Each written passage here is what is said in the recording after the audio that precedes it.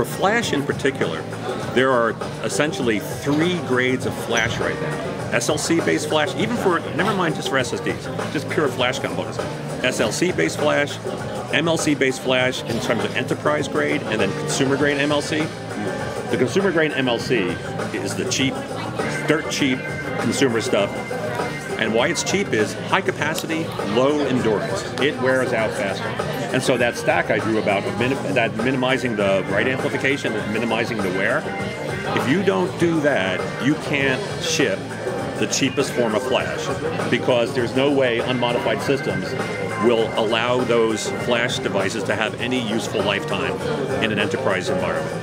And that so so yes, we'll use any person's flash.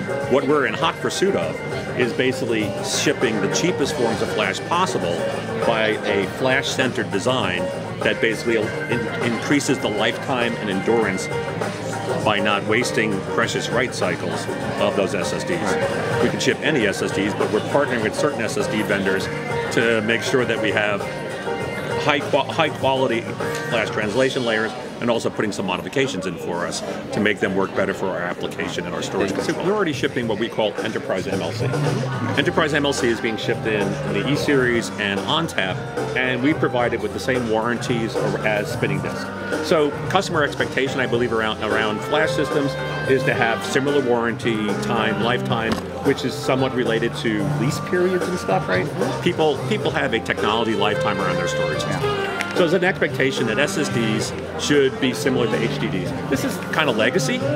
So, you know, but that's that is fundamentally how customers are viewing this.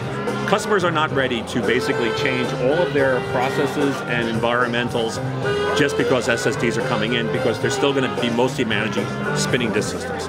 Flash will be a small portion of their overall storage deployment, okay? But to go to cheaper and cheaper flash and some of the proposals being made for higher capacity, higher density, lower endurance flash, the question arises, can, do you want to run them under five-year warranty periods? You want to run them to two or three-year warranty periods where your actual length of time that the SSD runs is completely dependent on your work urging that essentially the interesting property they have is sequential I/O and random I/O are completely the same.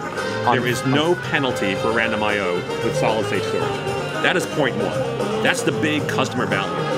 The big problem to solve is Flash is the current commodity solid state solution out there, and it has an annoying property that it wears out.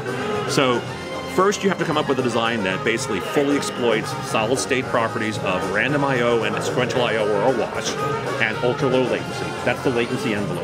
That's a solid. That's the solid state promise. Okay.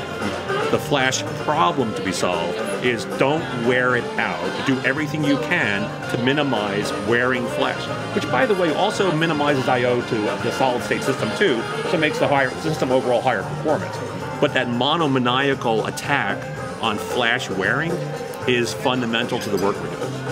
But it and it but it also improves overall performance. Okay. Right. The best thing you can possibly do is to only write unique user data to the flash device once. That would be the total optimal flash system.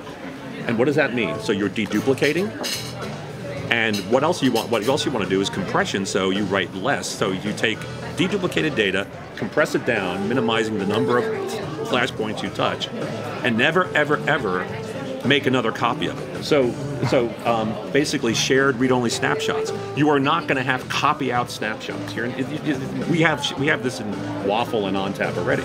You just never, ever, ever create another copy of that data because if you do, you just created another write, and that other write is wearing the flash out. So minimizing write, and then but but you have to keep in mind that real systems have to have protection against component failure. So we're doing a variation, a derivative of our RAID DP algorithm, our dual parity RAID, uh, double disk protection kind of thing. We're doing a variation on it that minimizes the parity updates. Because so so you have the one user write going out, right? And hold on, one user write going out, and then you need the protection of the parity writes going out. Essentially, we're doing log structured writing so that when you write a stripe out, you write the parity once. You don't write this block, update parity, write this block, update the same parity, write this block, update the same parity. If you did that, you just you just had a write amplification of a factor of two because you keep writing another block for every block you write. So log structured full stripe writing is critical towards the design of it. We already do that in WAFL. I would say we've gotten a little bit insane about our ability to do full stripe writing because the write problem is so profoundly pathological for Flash.